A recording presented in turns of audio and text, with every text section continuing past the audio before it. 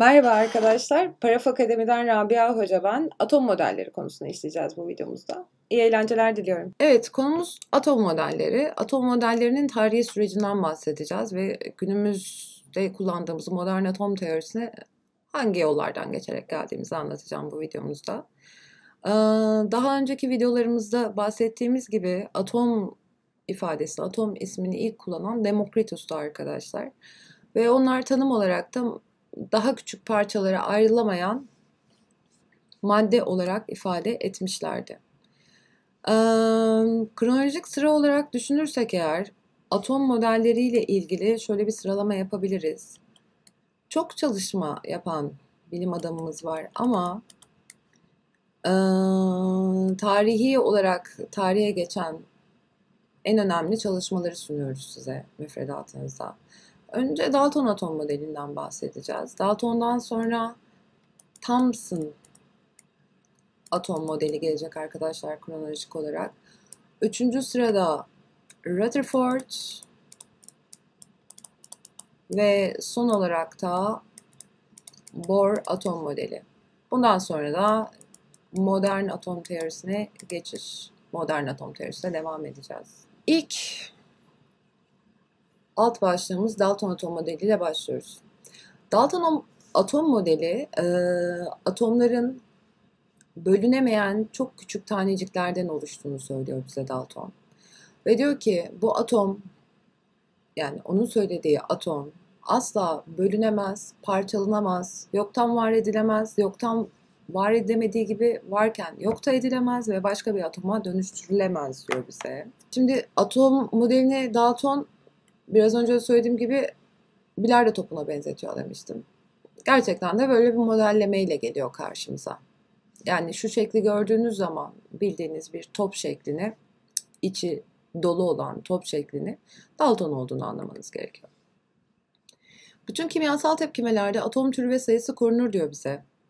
Atomlar çok yoğun ve içi dolu kürelerdir diyor. Zaten bilardo topuna benzetti demiştik. Ve bir elementin bütün atomları büyüklük, şekil ve kütle bakımından özdeştir diyor. Mesela biz günümüzde artık diyoruz ki bir elementin farklı kütleye sahip atom çeşitleri vardır. Yani izotop atomlar vardır. Fakat Dalton tabii o dönemde bunun çok farkında değil. Farklı element atomları birbirinden farklı diyor ve farklı element atomlarının belirli oranlarda birleşmesinden bileşikler oluşuyor diyor bize arkadaşlar. Şimdi Dalton atom modelinin farklı element atomlarının belirli oranda birleşmesinden bileşikler oluşur ifadesini genelde şu şekilde gösteriyorlar bize. Yani sorularda bu şekilde gelir. Hatta bunu gösterdikten sonra ve belki başka atomlarda kullanabilirler. Burada suyun oluşumunu gösteriyorum ben size. Dalton atom teorisini destekler mi der.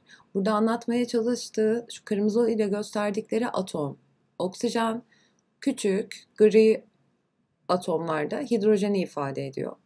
Yani diyor ki bir su molekülünü oluşturabilmem için bir oksijen, iki hidrojene ihtiyacım var. Yani belirli oranlarda birleşmesine ihtiyacım var diyor. Günümüzde Dalton atom modeline bakış. Her bir atom modelinden sonra günümüzdeki bakışından bahsedeceğiz. Yani neleri hatalı yaptı veya neler doğruydu bunlardan bahsedeceğiz. Genelde de sorular bunların üzerinden geliyor. Yani işte diyorlar ki günümüzde bu yanlıştır ya da günümüzdeki atom modeliyle desteklemiştir gibi sorular gelir. Öncelikli olarak atom bölünemez, parçalanamaz demişti bize. İçi dolu küre demişti. Fakat atom bölünebilen, parçalanabilen ve içinde daha da küçük tanecikler olan bir yapıdır. Yani protonlar vardır, nötronlar vardır, elektronlar vardır ve onları da oluşturan daha küçük tanecikler de vardır. Yani atomu parçalayabiliriz. Tabi radyoaktif bir olayla parçalayabiliyoruz ancak. Bir elementin bütün atomları aynı değildir. Yani izotop atomlar vardır. Biraz önce de söylediğim gibi. Bir de atomlar içi dolu küreler değil, boşluklu yapılardır. Günümüzdeki atom modeli Dalton bu noktada yanılmıştır arkadaşlar. Fakat işte farklı e, elementlerin belirli oranlarda bir araya gelerek e, bileşikleri oluşturduğu kısmı mesela doğru. Örneğin bize Dalton'la ilgili bir soru sormuşlar. Demiş ki bize atomlar çok yoğun, içi dolu küredir. Elbette ki doğru. Bir elementin bütün atomları büyüklük, şekil ve kütle açısından farklıdır demiş. Dalton atom teorisine bize diyor ki bütün atomlar aslında büyüklük, şekil ve kütle bakımından aynıdır diyor. Bu yanlış olacaktır. Farklı element atomları birbirinden tamamen farklıdır ifadesi de yine Dalton'a ait bir ifadedir arkadaşlar. Bu da doğrudur ve devam ediyorum. Biraz önce gösterdiğim şekil şu şekil bakın. Oksijen, iki hidrojen, su. Aynı yapı. Geçmiş senelerde sınav sorusu olarak da karşımıza çıktı. Bize diyor ki suyun oluşumuna ait e, model Dalton atom teorisine yer alan ifadelerinden hangilerine delil olarak sayılır? Şimdi oksijen atomu farklı, hidrojen atomu farklı çizilmiş. Demek ki farklı element atomları birbirlerinden farklıdır ifadesini destekliyor. Peki bir oksijen iki hidrojen girmiş ve bir oksijen iki hidrojen birleşerek çıkmış. Yani kimyasal tepkimelerde atom türü ve sayısını da koruduk. Farklı element atomlarının belirli oranda birleşmesinden bileşikler oluşur. Ee, burada da zaten su bileşiğinin oluşumunu gösteriyor bize. Bu da doğru olacaktır. Thomson atom modelinde birazdan tekrar üzerinden geçeceğiz ama artı eksiler birbirleri içinde homojen olarak dağılmıştır diyor. Thomson bunu üzümlü keke benzetiyor arkadaşlar. Kek pozitif kısımları oluşturuyor. İçindeki üzümler ise negatif kısımları oluşturuyor. Ee, tekrardan söylüyorum. Thomson bize artı eksiler eşit ve homojen dağılmıştır diyor. Ama yani aslında atomun e, nötr olduğunu ifade ediyor bize. Bakalım neler söylemiş. Elektron adı verilen negatif yüklü tanecikler pozitif yüklü atomun içinde homojen olarak dağılmıştır. Okey, biraz önce bahsettik bundan da. Atomdaki negatif yük sayısı pozitif yük sayısına eşittir. Yani atomlar nötrdür demiş. Yüksüz bir yapıya biz nötr diyoruz. Artılar, eksiler birbirine eşitse eğer birbirlerini götürürler ve yapı nötrleşir. Bakalım Thomson'la ilgili neler yanlışmış. Atomdaki pozitif negatif yükler atomda homojen olarak dağılmaz. O bize o şekilde olduğunu söylemişti. Atomdaki pozitif yükler günümüzde çok küçük bir hacme sıkışmıştır. Negatif yükler ise daha geniş alanda boşlukta bulunur. Yani onun hayal ettiği gibi homojen olarak birbirleri içinde dağılmamışlardır. Atomda bulunan pozitif tanecikler atom kütlesinin yaklaşık yarısını oluşturur ve bize diyor ki modelde nötron, atom çekirdeğinden ve elektronlardan hiç bahsedilmiyor. Yani model eksik. Aslında nötrlükle ilgili bir doğruluk payı var. Thomson atom modeliyle ilgili atom çoğunlukla boşluklu yapıdan oluşur demiyor. Öyle bir boşluklu yapıdan bahsetmiyor. Üzümlü keke benzetiyor. Çekirdekle ilgili hiçbir çalışması yok. Çekirdek bundan sonraki bilim adamımızın yapacağı bir çalışma olacak arkadaşlar. Ve o da Rutherford. Rutherford atom modeli. Rutherford atom modeli radyoaktivitenin ortaya çıkmasıyla aslında gelişen bir model. Rutherford alfa ışınlarını yani alfa artı 2 yüklü ışınları atoma yolluyor. Şimdi şöyle düşünün. Artı artıyı iter, artı eksiyi çeker. Yani bu ana bir elektrostatik kuralıdır. Diyor ki biz alfa ışınlarını yani şuradaki artı yüklü ışınları altın levhaya gönderdiğimizde doğrultusu değişmeyen bir sürü ışın var. Bu doğrultusu değişmeyen ışın atomun birçok kısmının boşluk olduğunu bize ifade ediyor. Sonra doğrultusu değişenler var ve direkt geri dönenler var. Doğrultusu değişenler, yansıyanlar, eksi yüklere, direkt geri dönenler de artı yüklere çarpmış olarak düşünülüyor ki doğru düşünülüyor. Ve buna gezegen modeli deniyor arkadaşlar. Rutherford modelini biz gezegen modeli diyoruz. Şimdi Rutherford atom modelinin varsayımları. Rutherford çekirdek kavramından bahseden ilk bilim adamı. Çok önemli bir bilim adamı. Çok da önemli bir durumu açıklıyor. Rutherford diyor ki atom yani pozitif yük küçük bir hacimde toplanmıştır ve biz buna e, çekirdek adını verebiliriz diyor. Atomun büyük bir kısmı boşluktur diyor ama elektronların nerede bulunduğuyla ilgili bize hiçbir açıklama yapamıyor. Artı artı eksi birbirini çektiği için buradaki eksiler neden buradaki artıların üzerine düşmediğini de açıklayamıyor. Gezegen gibi düşünün. Bir atomda pozitif yükün tümü çekirdek denilen küçük bölgede toplanmıştır. Çekirdek ve pozitif yük. Yani çekirdek kavramından ilk bahseden bilim adamı. Çekirdek çapı yaklaşık 10 üzeri eksi 12, 10 üzeri eksi 13 santimetre. Atom çapı zaten Thomson bahsetmişti bize 10 üzeri eksi 8 santimetre olarak ifade ediliyor. Yani bu aradaki atom çapı 10 üzeri eksi 8 santimetre, çekirdek çapı yaklaşık 10 üzeri eksi 12'lerde aradaki fark çok büyük. Bu nedenle atom hacminin büyük bir kısmı boşluktur diyor bize. Elektronlarsa bu boşlukta bulunur ve çekirdek etrafında döner diyor. Ama tekrardan söylüyorum elektron hareketiyle ilgili bize bir bilgi vermiyor. Çekirdekteki pozitif yük miktarı bir elementin tüm atomlarında aynıdır. Farklı elementin atomlarında farklıdır diyor bize. Ve atomdaki elektron sayısı çekirdekteki proton sayısına eşittir diyor. Artı yük eksi yük eşittir demiştik aslında daha önceden de. Ve pozitif yüklerin toplam kütlesi atomun kütlesinin yaklaşık yarısı kadardır. Yani şunu söylemeye çalışıyor size. Çekirdekte yüksüz bir tanecik daha olmalı diyor. Kütlesi de protona yakın olmalı diyor. Yani diyor ki çekirdekte kütlesi protonun kütlesine eşit yüksüz tanecikler bulunur diyor. Yani nötronun varlığını tahmin ediyor ama yani nötronun varlığını kanıtlayamıyor. Chadwick kanıtlayacak onu. James Chadwick. Şimdi Rutherford'un eksikleri neler? Rutherford önemli bir atom. Ya hepsi önemli tabii ki de Rutherford e, süreci hızlandırıyor aslında bundan sonraki Bohr. Çekirdek etrafında dönen elektronların neden pozitif yüklü çekirdek üzerine düşmediğini açıklayamıyor. Yani neden artı eksi birbirini çekmiyor da düşmüyor. Ve elektron davranışı ile ilgili bize hiçbir açıklamada bulunamıyor.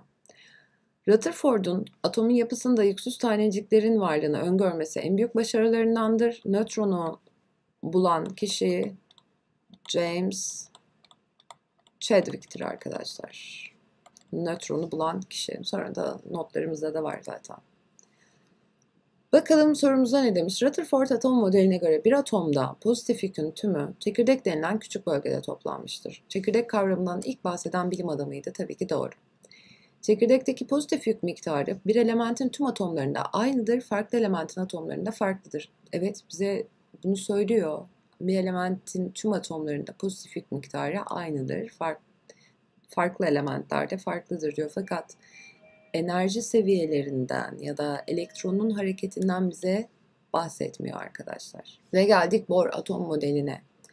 Bohr atom modeli Şimdi Rutherford'dan yararlanarak zaten Rutherford çekirdeğin varlığı ile ilgili konuşmuştu. Bohr bize dedi ki elektronlar çekirdeğin etrafında belir, belirli enerji seviyelerinde dedi. Şöyle yapalım. Bohr bize elektronların çekirdeğin etrafında belirli enerji seviyelerinde olduğunu ifade etti. Mesela çekirdek etrafında belirli enerji seviyeleri var. Onları halka halka gösteriyoruz. Bunları biraz dünyanın kabuğuna da benzetip katman ya da kabuk olarak da adlandırmış aslında. Ve her bir katmanda, her bir kabukta, diğer bir ifadeyle her bir enerji seviyesinde, başka bir ifadeyle yörüngede elektronlar bulunuyor. Her bir yörüngede bulunabilecek maksimum elektron sayısını biz 2 n ile hesaplıyoruz. Birazdan onu da göstereceğim aslında. Şunlar da bizim nelerimiz? Şu küçük pembe noktacıklar. Elektronlarımız arkadaşlar. Çekirdeğe en yakın katmandan başlayarak birinci katman, ikinci katman, üçüncü katman olarak ifade ediyoruz. Bir katman daha olsaydı dördüncü katman olacaktı. Bu katmanları biz küçük n ile ifade edebiliriz. Yani n eşittir 1 olabilir, ikinci katman 2 olabilir, üçüncü katman 3 olabilir, 4 olabilir, 5 olabilir gibi. Bir de bunları e, alfabetik olarak sıralamış. K ile başlıyorsunuz. K, L, M, N, O, P, Q, R diye devam ediyor alfabetik sıralamayla. Şimdi geri gidiyorum. Bohr atom modeli. Bohr atom modeli diyor ki bir madde enerji alabilir ve aldığı o enerjiyi dışarıya verebilir. Bu alınan enerji her zaman verilen enerjiye eşittir. Bohr tek elektronlu yapılarıyla çalıştı. Yani ilk önce hidrojenle çalıştı. Bu tek elektronlu yapılara örnek bir şeyler daha vereceğim tabii ki süreçte ama önce hidrojenle ilgili konuşacağız. Hidrojenin var olan bu tek elektronu Çekirdekte proton olduğu için, elektronda negatif yüklü olduğu için ilk katmanda yer alır. Biz buna temel hal deriz. Temel hal en düşük enerjili haldir. Örneklendireceğim. Ve biz bu elektrona yeterli enerji verirsek onu daha yüksek bir enerji seviyesine taşıyabiliriz diyor. Bu enerji almasına biz absorpsiyon diyeceğiz arkadaşlar. Dışarıya o enerjiyi yaymasına da emisyon diyeceğiz. Yani bu elektronu biz enerji verirsek yani o bu enerjiyi absorplarsa daha yüksek enerjili bir hale çıkar. Daha yüksek bir enerjili hale çıktıysa eğer biz buna uyarılmış hal diyoruz, uyarılma diyoruz. Ve uyarılan atom daha yüksek enerjili çünkü enerji aldı ve daha kararsız. Temel hali her zaman en kararlı hali olacaktır. Bu uyarılmış elektron geriye dönerken ilk haline şuraya dönerken aldığı enerjiyi dışarı verir. Dışarıya enerji yaymasına da biz emisyon diyeceğiz. Şimdi burada bir takım ışık spektrumlarından bahsediyor. Bunlar biraz daha fizik konularına kaydı ama burada da bahsedeceğim. Şimdi beyaz ışık prizmadan geçirildiği zaman gökkuşağı renklerini gösterir bize. Kırmızıdan mora. Kırmızıdan mora farkındaysanız. Bu aralarında hiçbir duraksama olmayan bu görüntüye biz sürekli spektrum diyoruz. Ve yüksek sıcaklığa kadar ısıtılan maddelerin yaydığı bu ışınlar işte eğer prizmadan geçirilirse farklı farklı renk çizgileri oluşturuyor. Biz bu renk çizgilerine de ışık spektrumu adını veriyoruz. Ve her maddenin ışık spektrumu birbirinden farklı ve atomun hakkında bilgi verir. Yani ayırt edicidir. Ayırt edici özelliktir. Yani siz bir ışık spektrum çizgilerine bakarak bir maddenin kimliğini belirleyebilirsiniz. Bohr bunları inceleyerek bize bir atom modeli sunuyor. Hidrojenin absorpsiyon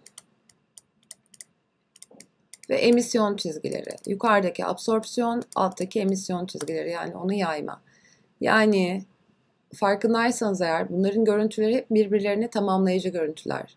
Absorpsiyon yani enerjiyi aldığı zaman o noktalarda renk kayboluyor. Çünkü o enerjiyi atom absorpluyor yani emiyor.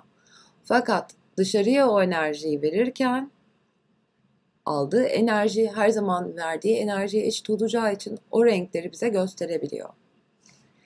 Yani şunu söylemeye çalışıyorum aslında. Bir atomun absorpsiyon çizgileriyle emisyon çizgileri birbirleriyle oturur mutlaka bu şekilde. Şimdi Bohr'la devam edelim.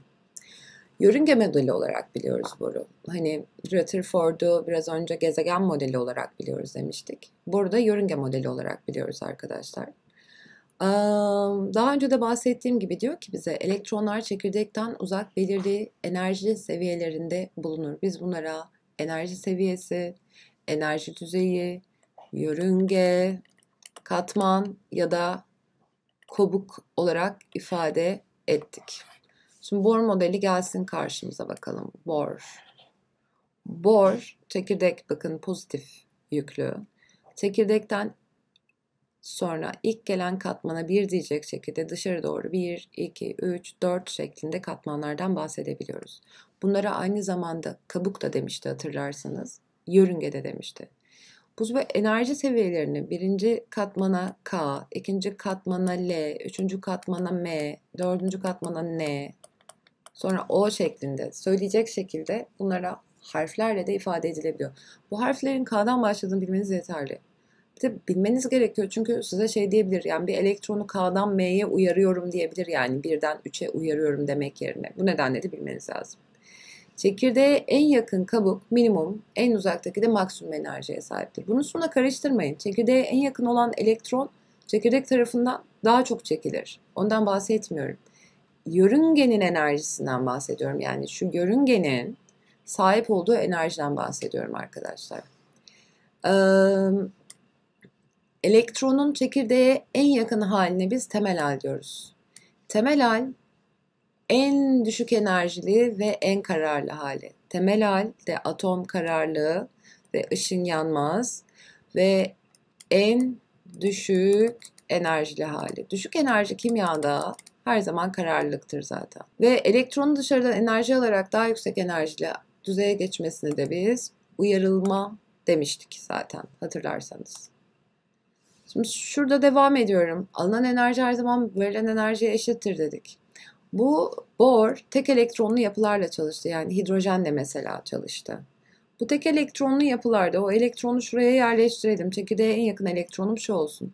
Ne demiştik? Bu elektrona yeterli enerji verirseniz bu atomun elektronunu uyarmış olursunuz. Sonra bu tekrar geri dönerken aldığı enerjiyi dışarı verir demiştik. Hatırlarsanız. Şimdi katmanlarda bulunabilecek maksimum elektron sayılarından bahsedeceğiz birazdan. Burada bize çizmişler tabii bunları. Uyarılmış hali bir kez daha göstermek istersek eğer temel haldeki elektron bakın hidrojen tek elektronlu. Hidrojen tek elektronlu olduğu için çekirdeğin etrafında bulunan şu enerji seviyelerinin kaç tane olursa olsun elektron birinci katmanda bulunur. Yani temel halde ise bu tek elektron birinci katmanda bulunur. En düşük enerji çekirdeğe en yakın bulunmasıdır. Ve tek elektron olduğu için zaten 11 tane elektron orada olacaktır. E size diyor ki bu elektronu siz bu temel haldeki elektrona enerji verirseniz uyarılmış hale getirirsiniz. Absorpsiyon gerçekleşir. Bu uyarılmış halden geri dönerken de emisyon gerçekleşir. Şu uyarılmış hal hatta şuraya yazalım. Uyarılmış hal. Atom temel hale göre kararsızdır. Yani kararsız. Bunun nedeni de nedir arkadaşlar? Yüksek enerjilidir. Elektron bulunan katmanlar ve elektron sayıları. Biraz önce her bir katmanda maksimum ne kadar elektron olabileceğini hesaplayabiliyoruz demiştim. Bunu biz 2n kare ile hesaplıyoruz. Bakın burada yazıyor. n katman sayısını ifade ediyor. Birinci katmanda 2 çarpı 1'in karesinden dolayı 2 elektron var. İkinci katmanda 2n karede 2 çarpı 2'nin karesinden dolayı 8 elektron var. Üçüncü katmanda 2 çarpı 3'ün karesinden dolayı 18. Dördüncü katmanda 2 çarpı 4'ün karesinden dolayı da 32 elektronumuz var. Bilginiz olsun. Devam ediyorum. Borun eksiklikleri neler? Şimdi borun tek elektronlu yapılarla ilgili çalıştığını söyledim ama diğerlerine örnek vermedim. Hidrojen tek elektronlu bir yapı. İşte lityum 3 artı 2 olabilir. Berilyum 4 artı 3 olabilir. Yani şu level'da tabii ben henüz size şeyi göstermedim ama e, proton elektron hesabını. Bunların hepsi tek elektronlu yapılar. Yani hidrojenle çalışma yaptı ama sonra tek elektronlu yapılar için onun koyduğu kurallar ve bulduğu bilgiler kullanılabildi. Fakat e, sadece tek elektronlu atomların yapılarını, davranışlarını açıklayabildi. Biraz soru çözeceğiz konuyla alakalı. Bakalım ilk sorumuzda bize ne demiş? Bize demiş ki Bohr atom modeline göre elektronlar çekirdekten belirli uzaklıkta ve belirli enerjiye sahip yörüngelerde bulunur. Bohr direkt bunu cümle olarak kullandı bence.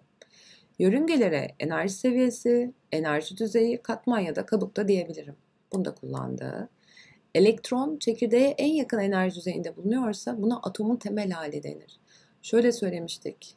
En kararlı hali elektronun çekirdeğe en yakın olduğu haldir. Ve biz de bu duruma temel hal diyorduk. Eğer o elektrona enerji verip daha yüksek bir enerji seviyesine taşırsak o duruma da uyarılmış hal demiştik. Yani 1, 2, 3 olacak. Bir sonraki soruya geçtim. Bir sonraki soruda bakın bir şekil var burada ve bu şekilde şuradaki elektronu alıp şuraya taşımışlar. Yukarıda gerçekleşen elektron geçişiyle ilgili temel haldeki yani çekirdeğe en yakın halde bulunan elektronu enerji verip daha yüksek bir enerji seviyesine taşımışlar. Ne gerçekleşti arkadaşlar? Uyarılma gerçekleşti. Peki enerji alıyorsa eğer o enerjiyi almasına biz ne demiştik? Absorpsiyon ya da soğurma eğer enerjiyi veriyor olsaydı ona emisyon diyecektik. Daha kararlı değil, enerji alarak daha yüksek enerjili bir hale geçmiştir ve bu nedenle daha kararsız bir hale geçmiştir. Bu yanlış oldu. Bohr atom modeliyle ilgili bir sorumuz var. Temel halde atom kararsız olup ışıma yapar. Hayır, temel hal dediğiniz şey kararlılıktır, atom ışıma yapmaz. Atom ne zaman ışıma yapar? Uyarılmış halde ışıma yapar.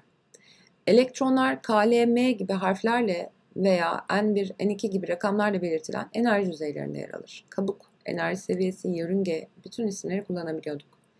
Çekirdeğe en yakın enerji düzeyi en düşük enerji düzeyidir. Şöyle bir cümle kurmuştuk. Demiştik ki çekirdeğe en yakın enerji seviyesi en düşük enerji seviyesidir. Dışarıya doğru enerji seviyesi artacaktır. Zaten bu nedenle en kararlı hal oluyor. En düşük enerji olduğu için. Devam ediyorum arkadaşlar. Hmm, atom modellerinin tarihsel gelişimi. Sorularımız bitti. Burada sadece kronolojik sırayı söylüyor. Aa, kronolojik sırayı soruyorlar nedense. Dalton atom modeli, Dalton atomu bilardo topuna benzetti.